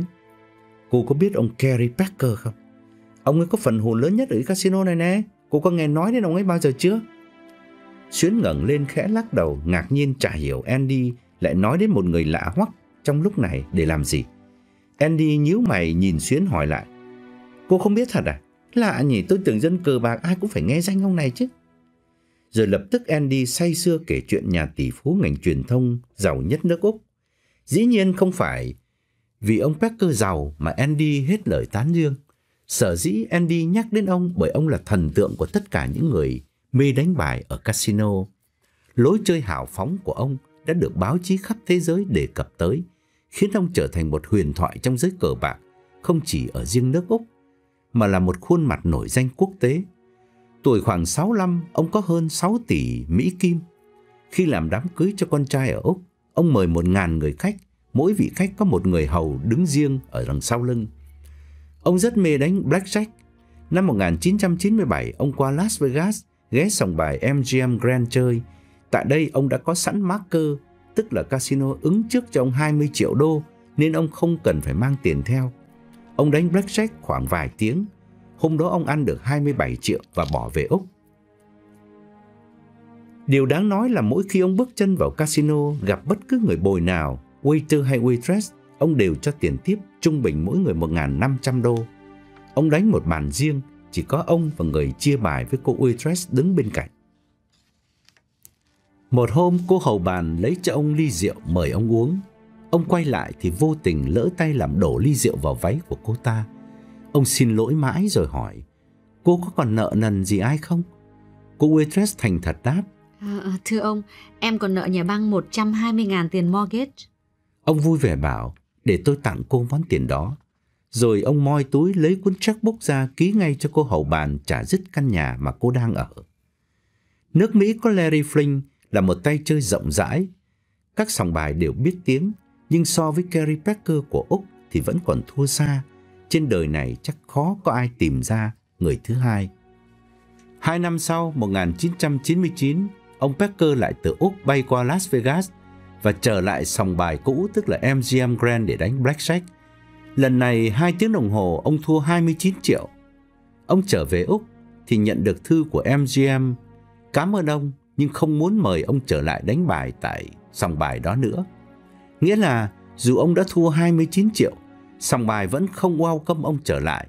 Lý do là vì casino nào cũng chỉ quý những người khách đến thường xuyên, ăn hay thua không thành vấn đề. Họ sợ nhất là những tay chơi hit and run.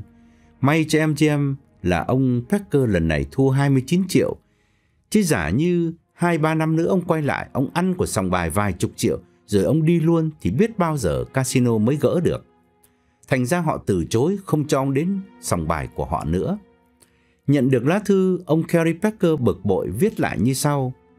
Tao là tỷ phú, năm nay đã 65 tuổi, tiền bạc với tao không thành vấn đề. Tao đánh bài ăn, tao đâu có mừng vì được tiền. Tao mừng vì được nhìn thấy những nét mặt đau khổ của chúng mày mà thôi. Kể xong chuyện ông Kerry Packer, Andy nhìn Xuyến chờ phản ứng. Dĩ nhiên Xuyến cũng thấy vui lây cái vui của Andy hướng về thần tượng cờ bạc của gã. Nhưng đồng thời nàng lại đối chiếu với hoàn cảnh hiện tại của mình, ngồi bơ vơ giữa đêm khuya trong sòng bài, khi chẳng còn đồng bạc dính túi, làm nàng thấy buồn tê tái và tắt ngay nụ cười. Andy kết luận. Chơi như ông Kerry mới đáng mặt dân chơi, nước Mỹ nổi tiếng là giàu, cũng chưa có ai được như ông ấy. Xuyến đưa mắt nhìn Andy cảm phục. Lần đầu tiên nàng gặp một người không những chỉ mê casino như nàng, mà còn mê theo dõi cả những nhân vật tăm tiếng trong giới cờ bạc nữa. Andy lại kể thêm, bên Mỹ có những tiểu bang ra đạo luật là casino chỉ được mở trên tàu thủy, hay đúng hơn là trên mặt nước, không được mở trên đất liền. Lúc đầu thì giữ đúng luật, tàu chạy ra khơi khoảng 2 tiếng rồi quay vô bờ. Dần dần tàu nó chỉ có nổ máy thôi, nhưng mà vẫn đậu nguyên tại bến không cần chạy nữa. Andy lại nhìn Xuyến đắc ý với câu chuyện mà gã thường kể cho bạn bè.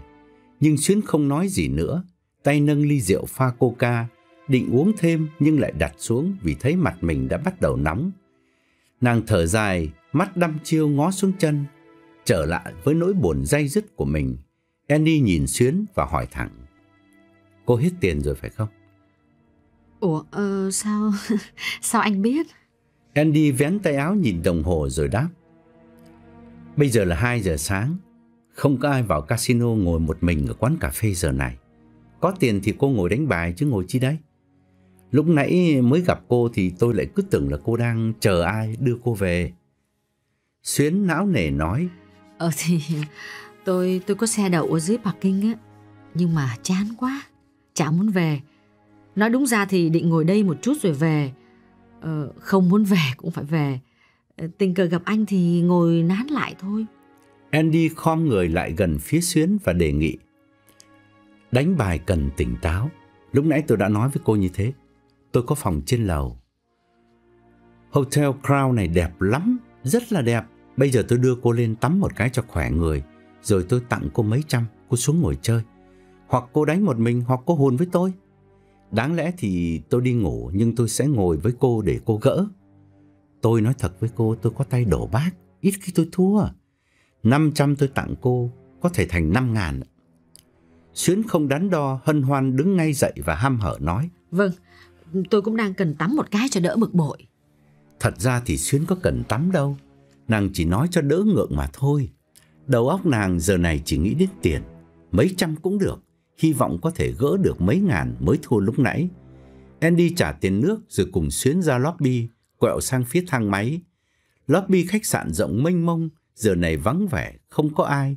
Những cửa hàng sang trọng như Versace, Louis Vuitton cũng đều đã đóng cửa, chỉ còn những ngọn đèn mờ tỏa sáng trên những mặt hàng hấp dẫn mà Xuyến ít khi đặt chân vào. Andy đưa Xuyến lên phòng ở tầng 20 cao ngất, có cái view nhìn rộng ra khắp thành phố, lấp lánh hàng triệu ánh đèn thật thơ mộng, giữa trời khuya mờ mờ hơi sương.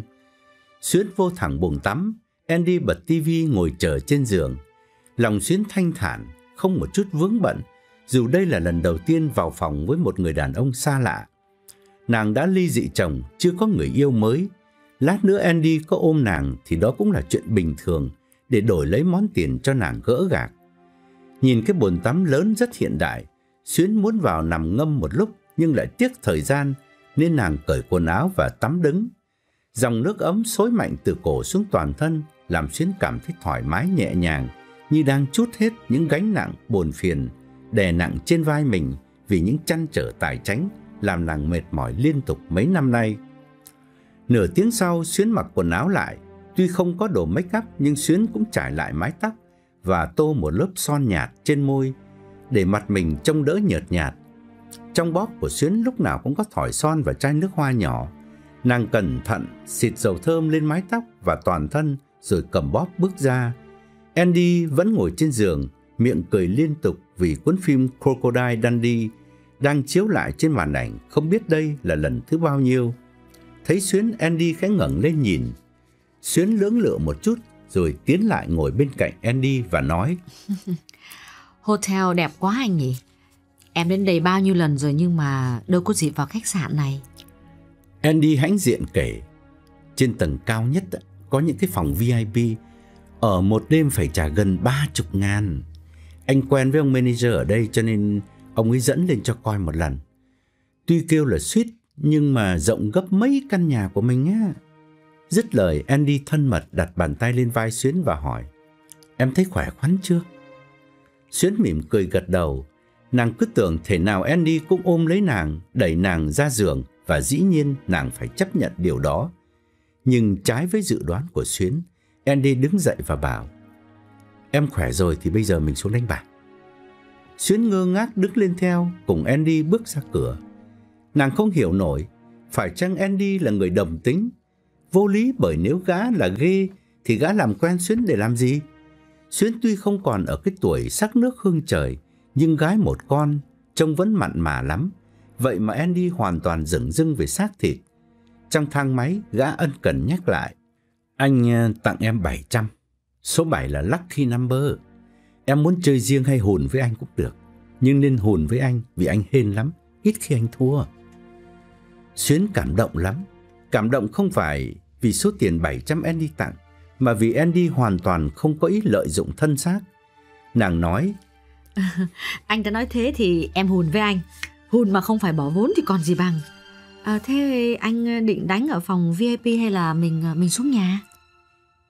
Nhìn đồng hồ thấy đã 3 giờ sáng, Andy bảo Phòng VIP thì thoải mái hơn, giờ này chắc chỉ còn một hai bạn.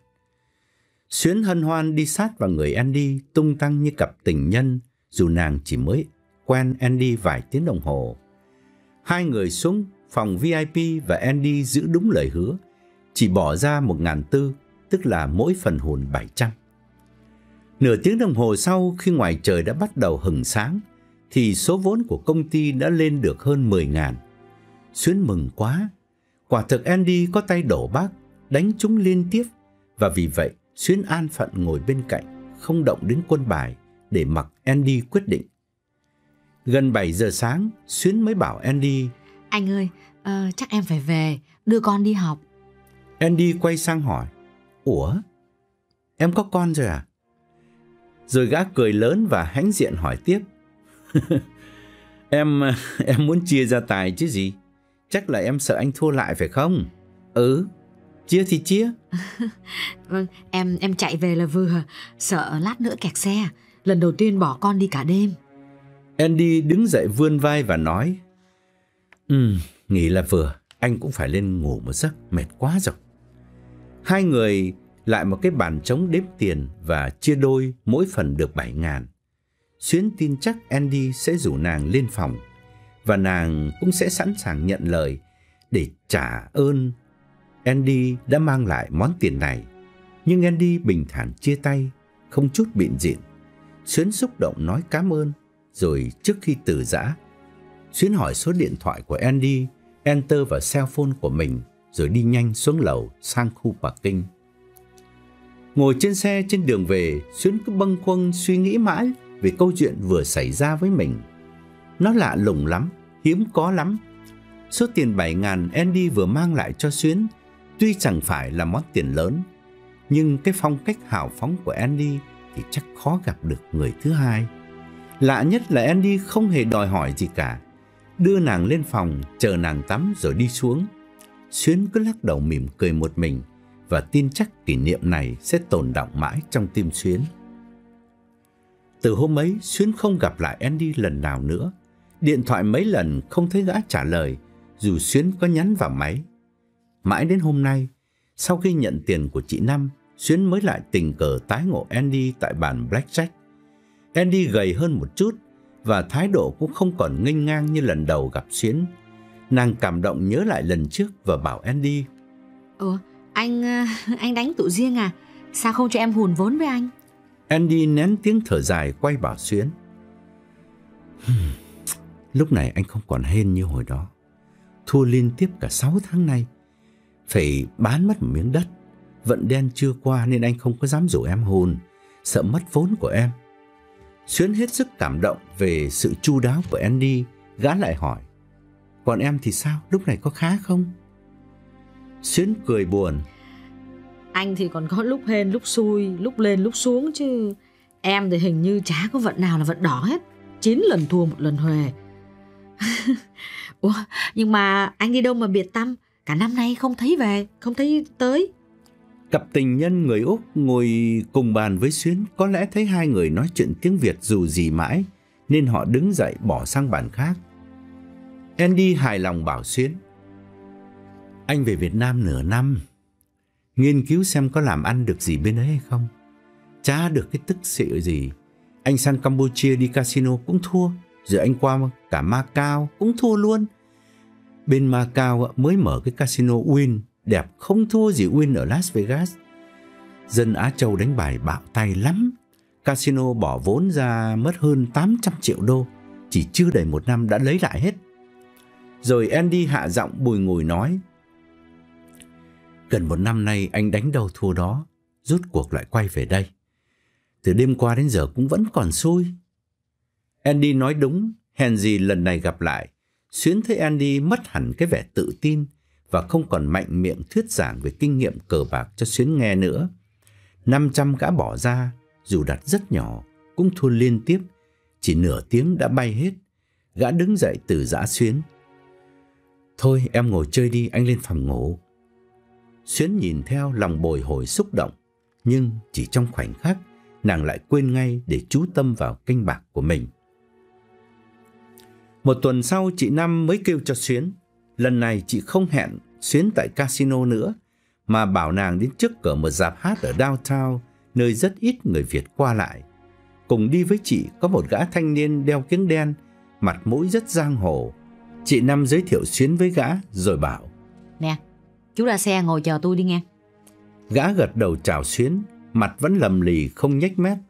Rồi gã lặng lẽ bước đi. Xuyến thấy tim mình đập mạnh vì đoán rằng gã chỉ cố ý đến đây để nhận diện Xuyến trước khi nàng lên đường công tác. Chị Năm đưa cho Xuyến cái phong bì dày cộm và tỉ mỉ dặn dò. Em, xong xuôi hết rồi đây nè. Tiền với vé máy bay chị để hết trong này rồi nghe. Một tuần nữa em đi. Thứ ba, thứ năm, thứ bảy có chuyến Việt Nam Airlines bay thẳng từ Melbourne về tới Tân Sơn Nhất. Khỏi ghé Sydney. Chắc em biết rồi. Về tới Sài Gòn nghe. Việc đầu tiên là em phải check in hotel. Đổi điện thoại mới rồi kêu liền cho chị. Người sẽ liên lạc với em ở Sài Gòn là anh Hiếu. Chị có ghi số phone ảnh ở trong này hết rồi đó. Em lấy phòng hotel rồi có số phone mới em kêu liền cho ảnh nghe. Báo cho ảnh biết địa chỉ của em. Gần ngày em trở về Úc á, ảnh sẽ giao hàng cho em. Cần gì á em cứ kêu ảnh. Nói gì chứ cũng đơn giản lắm. Không có gì mà phải bận tâm hết. Từ nay nghe hai người á, mà em cần liên hệ là anh Hiếu với chị. Nhưng mà chị dặn nghe, chỉ khi nào tối cần mới liên lạc. Mà cũng đừng có nói chuyện trong phone nghe. Nhất là anh Hiếu ở Sài Gòn á. Cần thì phone cho ảnh rồi hẹn tới một chỗ nào đó nói chuyện trực tiếp.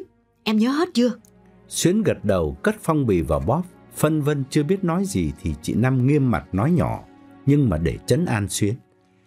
Đâu có phải chỉ người Việt Nam mình làm chuyện này đâu. Cộng đồng nào cũng có hết á. Dân Hồng Kông, Phi Luật Tân, nè, Thái Lan còn chuyện bạo hơn tụi mình nhiều nữa. Tụi nó đi như cơm bữa à. Mà chuyến hàng nào cũng lớn hết á. Mình á, lại tép riêu thôi. Xuyến chố mắt hỏi lại. Ồ thế hả chị? Ờ, em em có nghe nói gì đâu. Ờ, chắc chị trong nghề nên chị dành. Chị Năm đổi đề tài vui vẻ hỏi. Sao? Mấy bữa này có lắc kỳ không? Xuyến tạm quên nỗi căng thẳng cười đáp. Tiền của chị hên lắm. Đúng là lucky money. Tuần rồi em ăn được hơn 6 ngàn. Thank you chị. Chị Năm cười theo và hãnh diện kể. Thầy bói nói chị số hơn lắm. Nói nào ngay chị làm như làm phước nhiều quá em Cho nên trời trả lại cho chị á. Bên Perth nè Có ông thầy tử vi á, coi hay thiệt hay vậy đó. Lâu lâu chị ờ, bay sang chị nhờ ông coi á. Ông lấy ngày sanh tháng đẻ của chị nghe Rồi ông nói chị mang cái cốt con trâu trắng Sanh ở trên vai Đức Phật á. Chị làm gì cũng có Đức Phật phù trợ hết á. Bởi vì ai mà làm ăn chung với chị đều trót lọt hết trơn hết trụi à. Mà đứa nào mà phản chị nghe Cả đời nó không ngóc đầu lên nổi đó. Chị đâu cần ra tay em. Trời Phật hại nó đó em. Nói câu cuối cùng, Mặt chị nghiêm hẳn lại. Y như là muốn nhắn gửi tới Xuyến lời cảnh cáo cứng rắn rằng Khi Xuyến đã nhận hợp tác với chị Thì phải đi chọn con đường không thay đổi được nữa. Xuyến cúi đầu đăm chiêu, Lòng hoang mang lo sợ.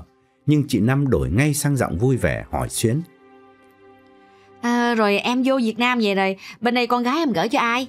Gửi chủ nhà hay là cho nó về với ba nó? Xuyến ngay tỉnh đáp. Ờ thì ba nó đón nó về chị à. Còn bé nó mừng lắm. Chị thích ở với ba nó thôi. Em cũng yên tâm. Chị Năm từ giã Xuyến bước ra đường Nơi có gã thanh niên đang đậu xe chở sẵn. Xuyến đứng bâng khuâng một lúc Rồi lấy xe trở lại sòng bài. Chưa biết có phải thật sự đồng tiền Và sợi dây đeo tay của chị Năm mang lại cái hên cho Xuyến hay không? Nhưng liên tiếp mấy hôm ở Crown Casino, Xuyến đều đại thắng. Còn một ngày nữa lên đường Thì tổng số tiền Xuyến ôm về nhà Lên đến gần 50 ngàn.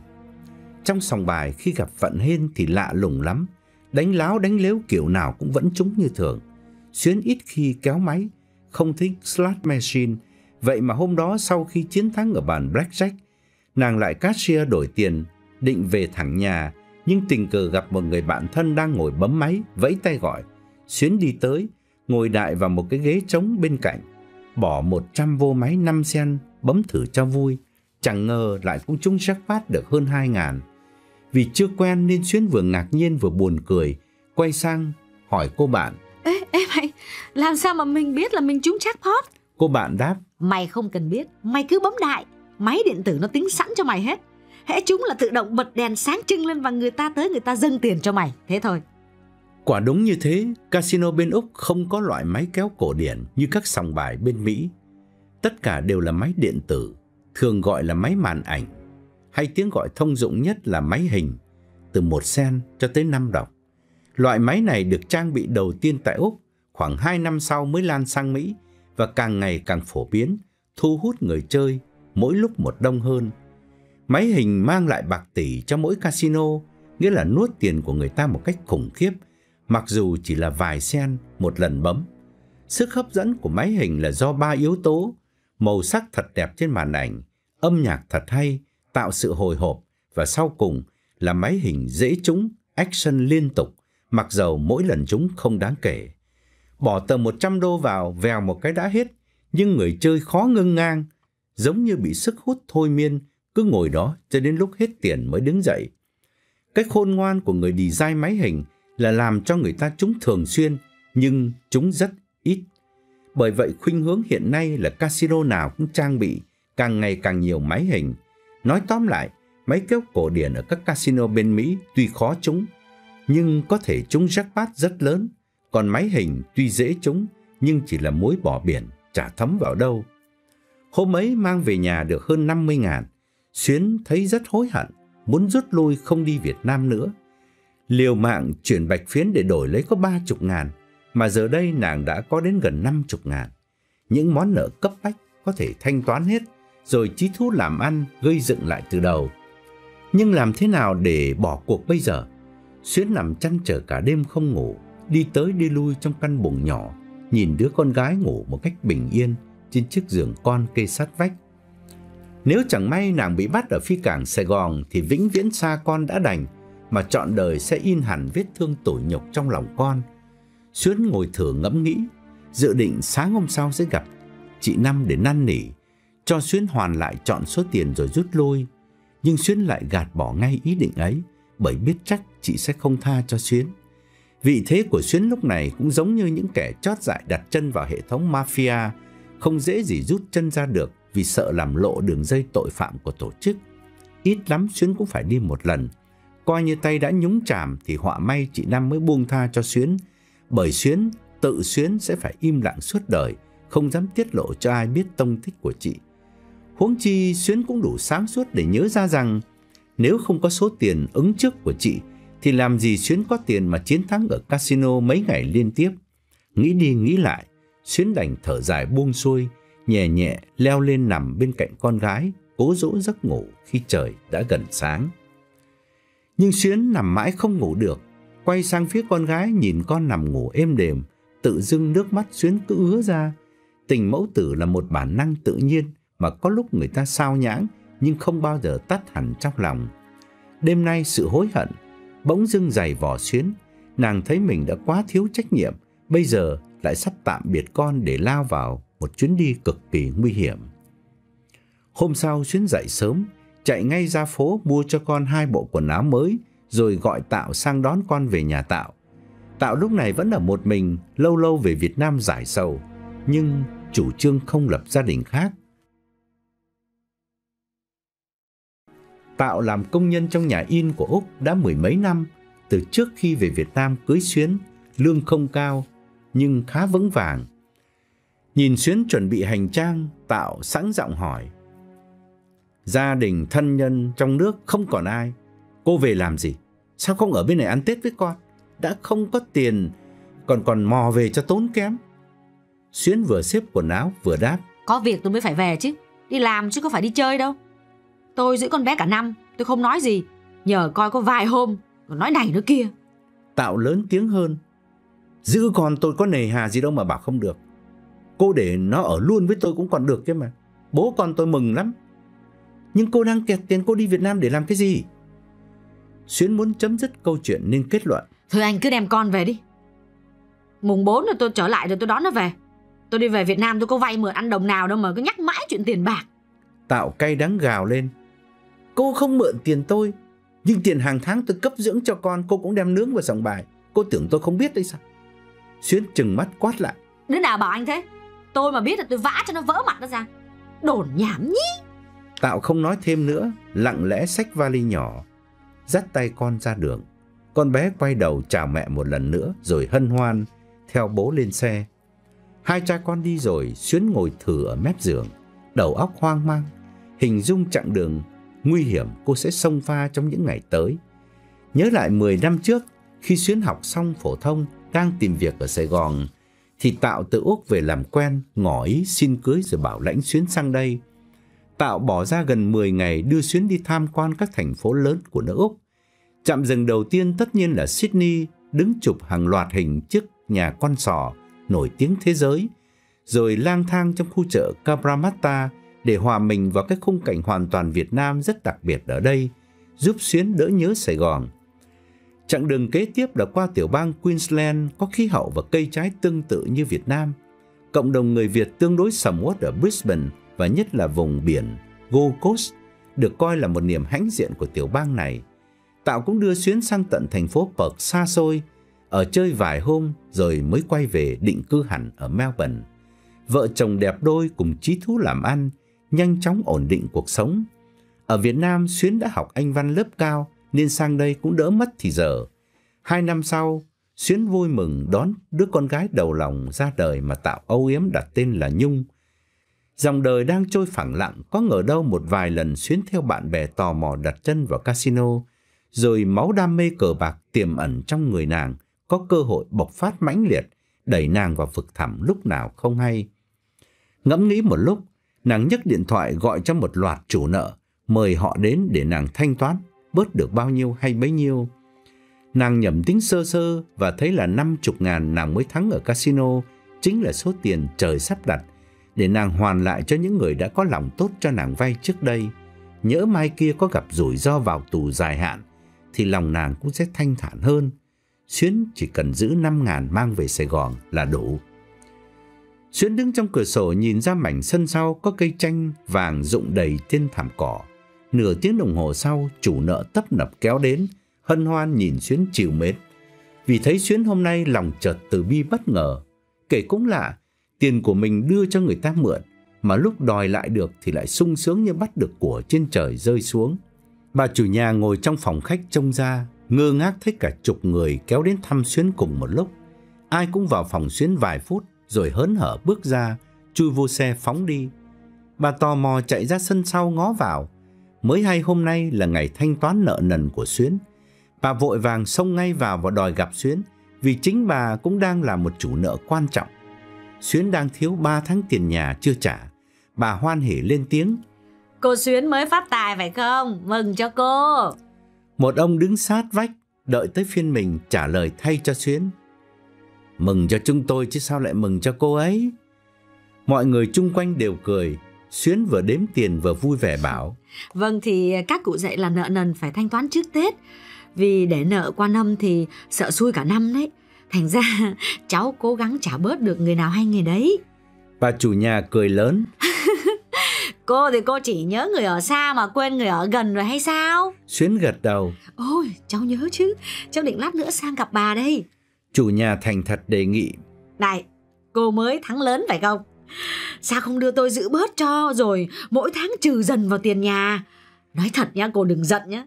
Tiền cô cầm thì chả có gì chắc chắn cả. Chứ mà tiền vào tay tôi thì một xu cũng không mất đâu cô ạ. Xuyến chép miệng nói. Ôi, gọi là thắng rồi chứ có bao nhiêu đâu bà. Bà để cháu trả bớt nợ cho người ta chứ không thì cháu áy náy lắm. Rồi Xuyến gửi bà 3 tháng tiền thiếu, đưa thêm một tháng nữa dù chưa đáo hạn. Tính ra thì Xuyến vẫn còn nợ khá nhiều, nhất là thẻ tín dụng mà đáng lẽ nàng phải ưu tiên ném vào để tránh bớt tiền lời. Nhưng nàng muốn thanh toán trước những người quen để từ nay gặp họ khỏi phải tránh mặt. Một tiếng đồng hồ sau, căn phòng của Xuyến không còn ai. Xuyến phôn cho con và tha thiết bảo. Con ở nhà ngoan nha. Mẹ về Việt Nam, Mẹ sẽ mua quà cho con Ở bên này á, Con có cần gì thì bảo bố mua cho nhé Lời dặn dò này không phải đêm nay khi sắp xa con Xuyến mới nói ra Mà quanh năm vẫn thế. Nghĩa là lúc nào Xuyến cũng xúi con xin tiền bố. Giống như đại đa số các bậc cha mẹ Việt Nam Từ Mỹ cho tới Úc Xuyến cũng bắt con phải học đủ mọi thứ trên đời Nhồi con như nhồi gà Tây trong ngày lễ tạ ơn. Đàn piano, tennis, bơi lội, võ thuật, Việt ngữ không cần biết con có thích những thứ đó hay không. Nói chung đứa con không học vì bản thân nó mà cắm đầu cắm cổ học chỉ vì bố mẹ cần nở mặt nở mày với thiên hạ. Cho nên chẳng những không cho con một phút nào để thở, mà ngược lại còn đòi hỏi con phải đạt điểm cao nhất ở bất cứ môn nào. Rõ ràng có một sự ganh đua trong cộng đồng về sự thành công của con cái. Có những bà mẹ, hễ con đang từ điểm A chẳng may tụt xuống điểm B là mất ăn mất ngủ, lôi con ra mắng nhiếc, hờn dỗi, khiến đứa bé lo buồn đến độ vào trường ngồi khóc và nhà trường phải cho gặp chuyên viên tâm lý để khuyên giải. Xuyến tuy mơ cờ bạc, nhưng cũng không quên hối thúc con phải học hành xuất sắc. Mà học thêm thì dĩ nhiên phải tốn tiền, trang trải học phí, sách vở và dụng cụ. Thành ra Xuyến chỉ còn cách bảo con gọi cho bố, bởi Xuyến thường xuyên kẹt tiền. Hai mẹ con nói chuyện một lúc rồi Xuyến nghẹn ngào long nước mắt tạm biệt con. Tạo đang ngồi coi tivi bên cạnh, nghe hai mẹ con tâm sự mà ứa gan. Con bé toan cúp phone thì Tạo rằng lấy điện thoại và cay đắng nói. Nói cái gì mà nói lắm thế? Cô cứ làm như cô thương con lắm. Vải thưa che mắt thánh. Có đêm nào cô ở nhà với nó không? Con bé mới 8 tuổi, cô bỏ nó một mình đi casino để nó nằm lăn ra ngủ phòng khách của chủ nhà. Mẹ gì có cái thứ mẹ mất nết như thế? Xuyến quát lại theo thói quen, theo phản ứng tự nhiên là hết tạo nói ra bất cứ điều gì, Xuyến đều phải cắt ngang. Anh im mồm anh đi. Anh tưởng là anh thương con hơn tôi à? Nó ở với tôi mới được như thế chứ nó ở với anh thì nó ra ngoài đường nó ngủ lâu rồi. Xuyến đang nói dở câu thì Tạo đã giận dữ cúp máy. Xuyến tức điên lên, dù thật sự nàng không có quyền tức, bởi những lời lên án của Tạo đều đúng cả. Nàng ngồi thừ một lúc rồi đứng dậy, nhìn đống hành lý đã sắp sẵn ở đuôi giường. Hai cái vali, một lớn một nhỏ, cùng với cái túi ni lông xách theo lên máy bay. Hành trang gọn ghẽ sẵn sàng để ngày mai lên đường.